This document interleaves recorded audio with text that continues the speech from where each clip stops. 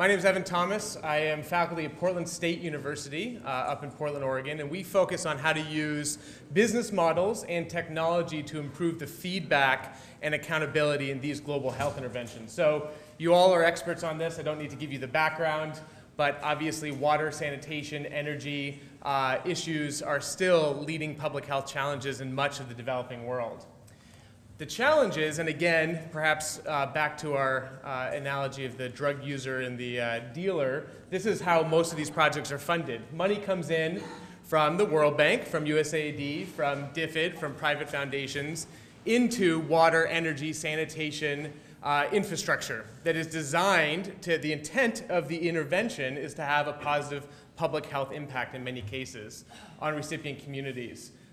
But under most circumstances, these are grant-based contracts. So you have money for a year or maybe five years. That's kind of the best in class is a five-year grant. And in those mega five-year grants, you can afford maybe an RCT that I'm sure many of you have been involved in running RCTs, where you have the gold standard evidence of impact. But that data is only available for that narrow window. So it takes a couple years to run an RCT, a couple more years to write it up, and you can say something about the intervention at the time the intervention was being delivered. Uh, and more often than not, the money runs out and people move on to the next thing. And if that was working, if that was resulting in a meaningful impact on sanitation or water quality or water access, then we'd have no complaints. But unfortunately, it's led to very sad statistics. About half of water interventions that are installed every year are broken and never repaired within 18 months of installation. So I'm talking about things like water pumps or household water filters that cost $15,000 to, to drill a hole and put in a community managed water pump. Within 18 months, chances are that it's broken and it never gets repaired. The, uh, we talked a little bit about the new Sustainable Development Goals. So MDGs are pretty much passe at this point. But MDG 7 was supposed to be a measure of how many people are provided access with clean drinking water. And over the past 15 years, the global community is claiming that 400 million people have been provided access with clean water. The metric that's used is improved versus unimproved at the day of survey. And it says nothing about functionality, and it says nothing about water quality. So there's emerging evidence that more than half of that gain is fiction today. So how can we address that? How can we close this loop? Other people in the room have been talking about feedback loops and data. How can we close this loop and align impact with the actual intent? We, uh, my group has a couple different models we've been using. One is a pay-for-performance model, where we align payments with the actual impact rather than the inputs. Uh, we use carbon credits as the way that we've entered this uh, concept, but it's only an example. It's really only a stalking horse of the concept around crediting. And then instrumentation. Others have been talking about instrumentation, about SMS, about cell phone surveys, about uh, satellite sensing. We use in situ cell phone based sensors to actually monitor the impact of these interventions, the performance and use.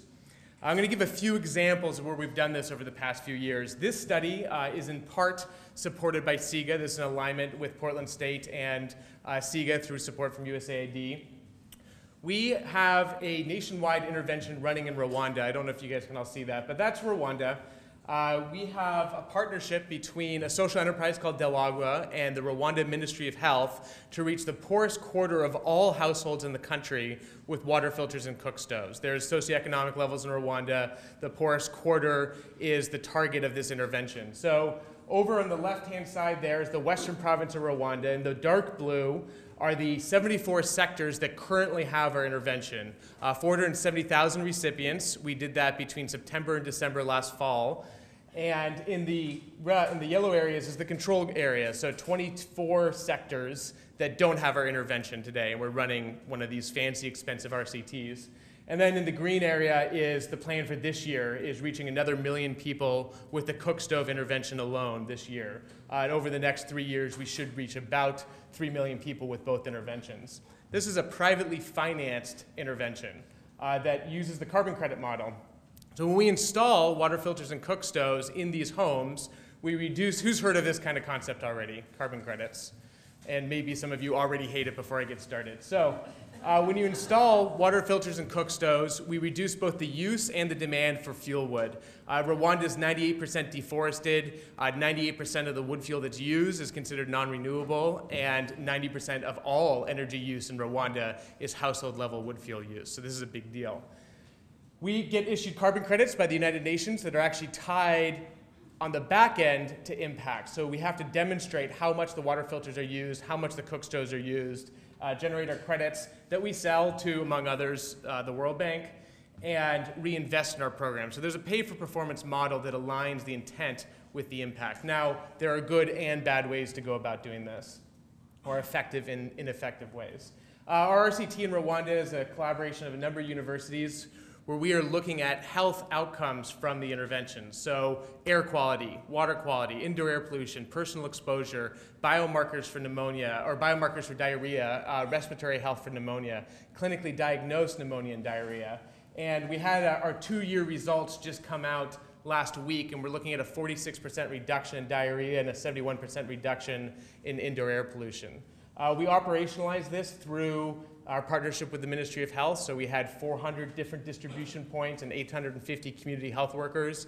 And we have a touch with every household every six months to reinforce the behavior change messaging. So that's all standard stuff that you've heard of before. Um, these are the interventions, uh, LifeStraw Family 2.0 and the EcoZoom Dura. More interestingly, we directly measure the use of these water filters and stoves. We have sensors, these cell phone based sensors inside the RCT, inside a sample of the stoves and filters. They're hidden inside the stove, they're hidden inside the filter, and we measure how often people add water, how much water, when they take water out, how much water they take out, when they backwash the filter. On the stove side, how often they're using the stove, how long they're using the stove for, combustion efficiency, or at least a proxy for it. Um, and we even also measured uh, use of their baseline stoves with other sensors. And we can now start studying household behavior within households uh, and a lot more continuously than doing periodic surveys. So a few examples. We obviously do surveys like everyone else does, and we ask how often people are using stoves and filters. We use all the best methods that are available now and consensus around these types of questions. But in reality, there are large differences between surveys and sensor-derived user behavior. Uh, this has been, this is the crux of our contribution, is there's been a big disconnect in the epidemiology community with these trials where we can prove that a water filter works, that it cleans water, and we know that that's a good thing. And you can measure diarrhea, or you can know that a stove reduces indoor air pollution if it's used properly, and you can measure pneumonia. But there's, or you can know that using a latrine is a good thing, uh, and you can survey, again, diarrhea use, or diarrhea incidents. The big missing link or the weak link is actually knowing behavior and knowing use because surveys suck and observations are reactive. And what we've seen with our instrumentation now, we have our sensors in 15 countries in water, sanitation, energy, uh, infrastructure interventions. We've seen a huge discrepancy between surveys and observations and what sensors are telling us. So this is data just from our uh, water filter program in Rwanda over six monthly rounds where consistently people tell us they use six liters of water a day, uh, and they really use considerably less than that. That's a little bit of a yawn. I think we could have all predicted that. What's more interesting is looking inside the households and seeing what's going on. I don't have a plot for this, but we were able to look inside these households and say, how consistently are people using the water filter? Are they using enough water for the size of their family to suggest that it's exclusive use? Uh, and in you know, it's actually very lumpy. So even though the surveys are only off by 20, 30%, you can kind of deal with that. The reality is that people's behavior is very, very lumpy. They'll binge on water and then not use it for two weeks. Uh, and that tells us a lot more insights than surveys were previously telling us about behavior. Another question here is, okay, sensors are telling us something that we didn't know, or perhaps a more accurate measure of behavior, but are they themselves reactive? Uh, so that's the project that CEGA funded. And these are preliminary results. We actually have this study ongoing now, and I think this plot is, probably needs some improvement. But we had a uh, blinded RCT running nested within our health impact RCT. So in the closed arm on the left, people did not know or do not know that the sensor is monitoring their behavior. And in the open arm, we show them the sensor and say, here's what it's doing. And there is more than a 50% increase in number of uses and more than a doubling increase in volume of water treated. So when people know the sensor is there, they behave differently. Uh, and this is over six weeks, so it's not just in the first few days. Okay, that's one example. Uh, that's an example of where sensors, in situ sensors, can help with those behavioral questions around health impact studies. Here's an operational example. We put sensors on these water pumps. Uh, we had a longitudinal cohort study running for the uh, for the past 12 months, it just ended in May, where we had sensors on 220 hand pumps in Rwanda in three different groups. One was where uh, an ad hoc model, business as usual, water point maintenance that communities, uh, governments, and cognizant NGOs like Living Water International are out there maintaining pumps on demand. Uh, a circuit rider model where they build in a system to actively go and visit hand pumps. Uh, and then an ambulance service model, somebody else used that term today, where the sensors trigger a technician response and we get out there and have the technicians repair pumps when they are identified as broken. Uh, this is, just shows the distribution across Rwanda. This shows infrastructure that that picture on the left counts as that community having access to clean water uh, with the metrics that's currently used for, for MDG 7.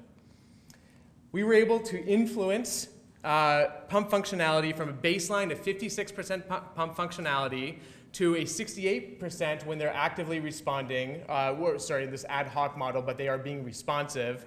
73% functionality in active circuit rider model, and a 91% functionality in the ambulance service model, where they're actually going out there and repairing pumps on demand. More interestingly, uh, mean maintenance interval dropped from 214 days on average, the average amount of time a pump was broken, to 25 days. There are two other things that matter here. One, is this more or less cost effective? Is it actually better to have 100 pumps working 90% of the time or 200 pumps working at 56% of the time on two metrics? One, is it more cost effective? And so far we're seeing yes, uh, that it's cheaper per liter of water to service pumps rather than go out there and drill new wells all the time. And two, what are the health impacts? And access more consistent access to clean water has a greater health impact than intermittent access. Also, perhaps a yawn, but guess what? The vast majority of NGOs and funders right now are doing the model of dropping in new pumps every year. So, even though it might be obvious, it's not what's happening today. Uh, and then I'll give you one other example where we've used our instrumentation in uh, latrines. You might have seen last summer there was a Section A article in the New York Times that said latrine use in India does not impact health. Anybody hear this study? It was a Tom Clasen's paper in The Lancet uh, that the New York Times picked up. So latrine use in India does not impact health. Sorry, latrines in India do not impact health. Missing word. Latrines that are not used do not impact health. And part of the reason for the discrepancy is the vast majority of these studies have all shown, by both survey and observation, high latrine use. So surveys and observations tell you people are using the latrines, and your health study says no impact on health. You conclude the latrine's a bad intervention. But in fact, dramatic overreporting. This is just one of our studies that actually was on uh, a BRAC wash cluster program. Um, and the intercept is at almost 30 events per four days. So on average, people are reporting 30 uses of a latrine in four days when in fact there were no uses of the latrine. Huge overreporting. Uh, we've now had seven different projects, all funded by the Gates Foundation, looking at uh, this same question, and we have about 10,000 households worth of uh, two to four week data, all saying the same thing, that observations and surveys are not accurate measures of latrine use. So we can start using these tools to tell us what's really happening inside homes and to react to that. This is not evidence. These pictures that we all put in our reports, me too, and all of you guys, is not evidence. This picture says nothing about whether or not these kids currently have access to clean water. So we're trying to replace those metrics, using this as a metric, with data that is driven, that is supported by pay for performance models, and feed back into a virtuous cycle of impact. Um, one quick plug for collaboration, because that's why we're all here. This is what wood fuel looks like in Rwanda. Um, it, for the most part, does not come from forests anymore. So most of the wood fuel use comes from outside of forests. It's already a green country, very few trees left. Most people get wood from, uh, from stripping trees and bark and uh, lopping off branches near their homes.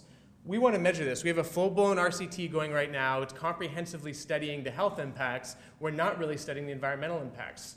Uh, with 3 million people that will reduce by perhaps as much as half their wood fuel use, that should be measurable in the biomass inventory. This is not, I don't think, some of you could, could correct me on this, I don't think this is, lends itself very well to satellite imagery because we're trying to count individual trees and we're trying to count, look at, look at the condition of the trees below the canopy. Uh, so the default normally is to go out and measure trees, go out and have enumerators go around and count trees and count diameters and count branches. I think we can replace this with drones, um, which is just really fun because they're super fun to fly. And I want to see if anybody in this room could either steer me in that direction or, uh, or steer us away from it. So, thank you.